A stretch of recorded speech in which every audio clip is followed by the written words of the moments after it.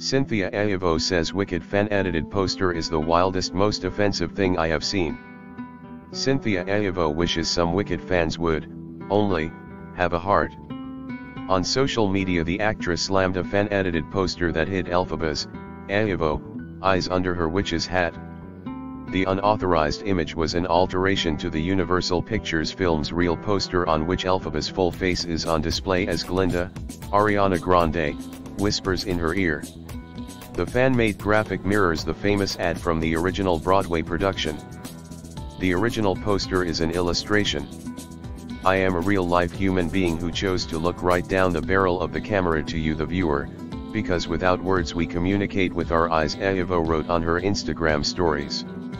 Our poster is an homage not an imitation to edit my face and hide my eyes is to erase me.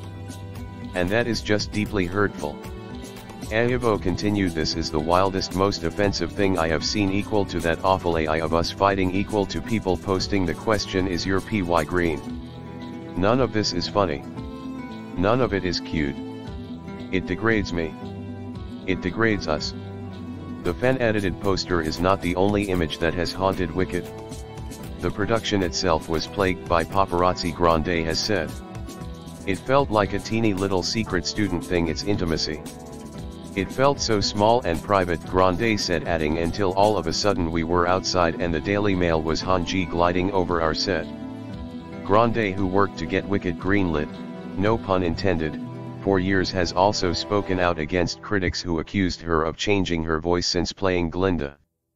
Grande was mocked on social media after a clip of her Arier speaking voice on the Podcrushed podcast went viral. She later posted on TikTok I intentionally change my vocal placement, high slash low, often depending on how much singing I'm doing.